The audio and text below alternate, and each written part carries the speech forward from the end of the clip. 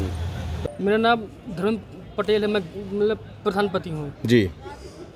क्या बात है? समस्या सर ये कि हमारे ग्राम सचिव श्री- अनिल सिंह और मेरे बड़े भैया श्री पवन कुमार पटेल मतलब रोज़गार सेवक मतलब हमारे गाँव के सारे काम देख रहे हैं। हम्म। इन लोगों ने आज से मतलब एक तीन चार मंथ पहले से उन्होंने बहुत पैसा निकाला डागल मतलब मेरी मतलब पत्नी के मतलब डागल के साइन करवा कर फर्जी साइन करवा उन्होंने पैसा निकाला हुआ है।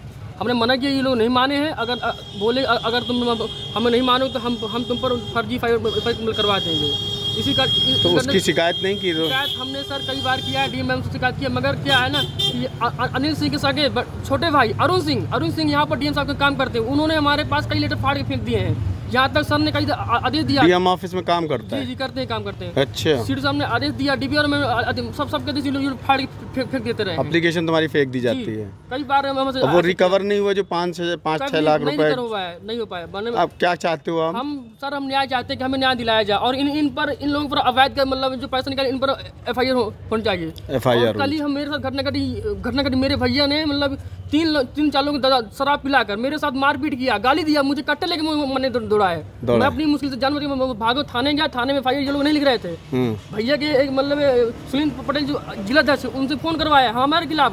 सुनील पटेल जी ने उन्हें मना कर दिया आप नहीं करें एफ़ फिर हमने किस तरह इनकी खिलाफ एफ़ करवाई है। अभी तक वो लोग फरार हैं। लगातार हमको मारने धमकी दे रहे हैं मगर कोई आत्मा सुनाई नहीं हो पा रही है। यहाँ एसपी साहब से मिले आप? जी उन्होंने आश्वासन दिया कि आप मतलब जल्द ही इन पर कार्रवाई की जाएगी। थैंक यू क्या नाम है कौन है आप? मेरा नाम प्रियंका पटेल है ग्राम कोर्रा खुद से हूँ प्रधान हूँ सर। हाँ। यहाँ कहाँ आई हो?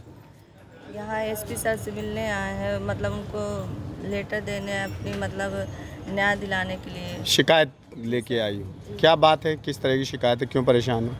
जी हमारे मतलब जो मतलब अनिल सिंह सचिव हैं और पवन पटेल ये लोग मतलब मिलकर हमें डॉगल से पैसे निकाल लिया चार सौ बीस तक मतलब काम किए हैं। हाँ। हम लोग इन लोगों को मना किया तो नहीं माने फिर मतलब ये लोग लड़ाई झगड़े पे उतारू हो गए।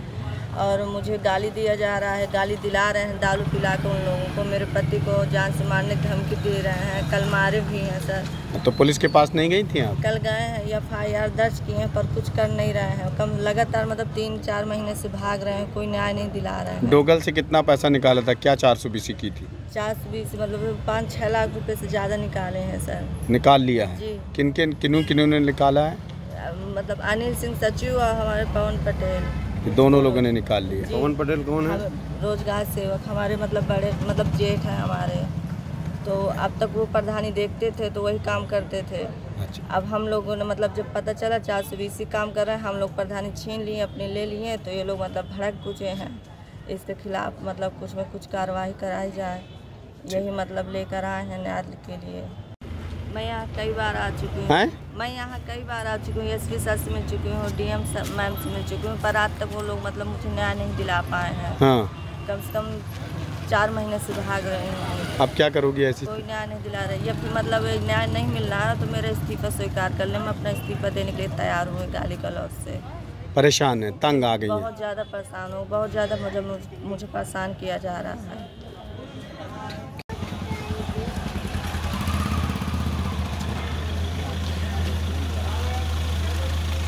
प्रियंका पीछे। किस गाँव के प्रधान हैं आप? के। क्या है बात है किस बात को लेकर यहाँ आई हैं आप? सर ये लोग हमें गाली गलौज दे रहे हैं। लोग पवन पटेल और अनिल सिंह मतलब ये लोग भड़का रहे हैं और गाली देने वाले संदीप है आलोक है मतलब चार पाँच लोग हैं और राम सिंह है तो ये कट्टा लेकर मतलब मारने के लिए दौड़ रहे हैं धमकी दे रहे हैं। कल मेरे पति को मारे भी हैं और मतलब ऐसे गाली दे रहे हैं इसी तरह का मामला है सर।